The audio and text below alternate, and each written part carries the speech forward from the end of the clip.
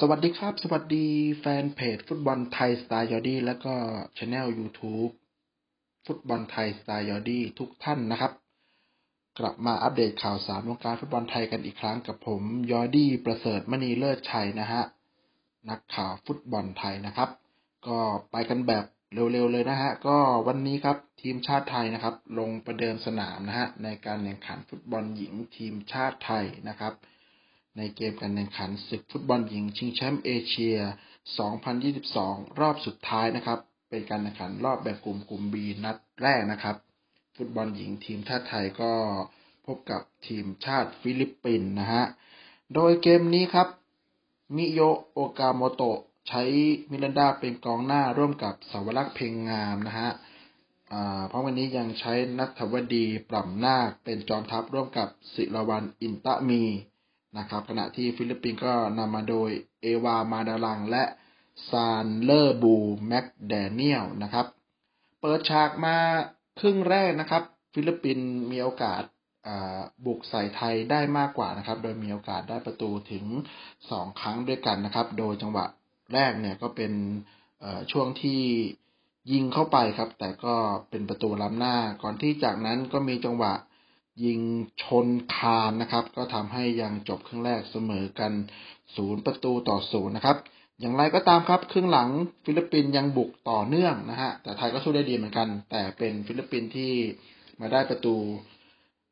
นำหนึ่งศูนย์นะครับ นาทีที่แปดสิบเอ็ดนะครับ จากจังหวะลูกยิงไกลของ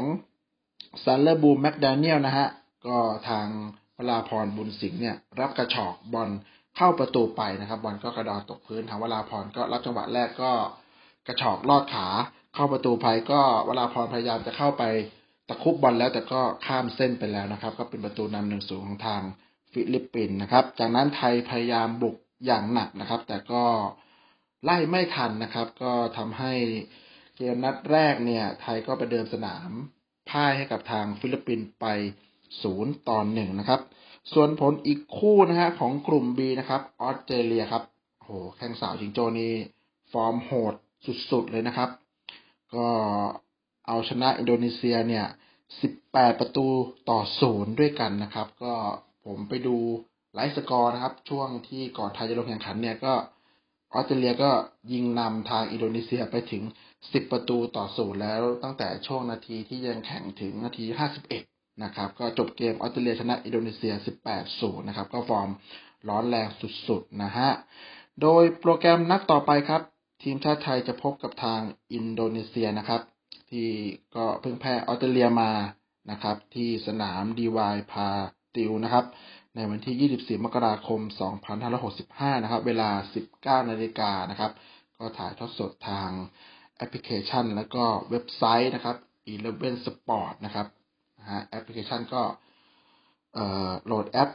พิมพ์คำว่า Eleven Sport นะครับ ส่วนเว็บไซต์เนี่ยก็เข้าไปที่ elevensport.com นะครับ ส่วนวิธีการเนี่ยผมก็เดี๋ยวจะแนบลิงก์ไว้นะครับในท้ายคลิปนี้แล้วกันนะครับ ว่ามีวิธีขั้นตอนการใช้งานแอปพลิเคชัน แล้วก็เว็บไซต์ Eleven Sport เพื่อชมทีมชาติไทยอย่างไรบ้างนะครับ นี่ก็เป็นภาพรวมของ การแข่งขัน ทีนี้มีหลังเกมมาฝากกันนะครับ ก็เป็นบทสัมภาษณ์ของทางมิโยโอกาโมโตะนะครับ ก็ยอมรับว่าเกมนี้เนี่ย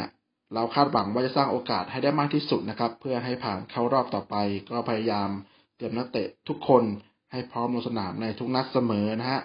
เกมในวันนี้ครับที่พบฟิลิปปินส์เรามีข้อผิดพลาดเล็กๆน้อยๆเกิดขึ้นมากมายนะครับ โดยเฉพาะในพื้นที่สุดท้าย แน่นอนว่าทุกคนในทีมต้องพยายามแก้ไขสิ่งที่เกิดขึ้นตรงนี้ เพื่อให้เราทำงานได้ดีขึ้นในนัดต่อไปนะครับ โดยเกมนี้ทางมิโตมิโยก็บอกว่าเราไม่สามารถหาจังหวะทำประตูได้แบบจะแจ้งหรือเหมาะสมเลยนะฮะว่าจังหวะไหนควรช้าจังหวะไหนควรเร็วนะครับ ตอนนี้เราแพ้เกมแรกไปแล้ว แต่เราต้องกลับมาให้ได้ในเกมต่อไปครับนะฮะทางมิโยก็ ปลุกเร้าลูกทีมนะครับ โดยวันนี้เราต้องกลับไปและทิ้งความผิดหวังไว้ เราต้องพยายามสร้างโอกาสทำประตูให้ได้มากกว่านี้นะครับ ส่วนความผิดพลาดของประตูในวันนี้เราได้บอกให้เธอลืมไปและเดินหน้าต่อไปนะครับ และเตรียมตัวให้พร้อมสำหรับเกมต่อไป เพราะไม่ใช่ความผิดของเธอนะครับ นี่ก็เป็นบทสัมภาษณ์ของมิโยที่ก็ให้กำลังใจลูกทีมนะครับ ทัพชบาแก้วของเรารวมถึงเวลาพรบุญสิงห์ด้วยนะครับ ผู้สับประตูของไทยเรานะครับ แน่นอนว่า แนบอลไทยก็พร้อมให้กำลังใจนักฟุตบอลหญิงทีมชาติไทย เช่นเดียวกันนะครับ เพื่อลุ้นโอกาสเข้ารอบฟุตบอลโลกรอบสุดท้าย เป็นสมัยที่สามให้ได้นะครับ ยังมีอีกสองเกมให้ลุ้นกันครับ ก็คือพบอินโดนีเซียแล้วก็ออสเตรเลียนะครับยังไงก็ติดตามชมและเชียร์นะครับ วันนี้ ผมฟุตบอลไทยสไตล์ยอดี้ก็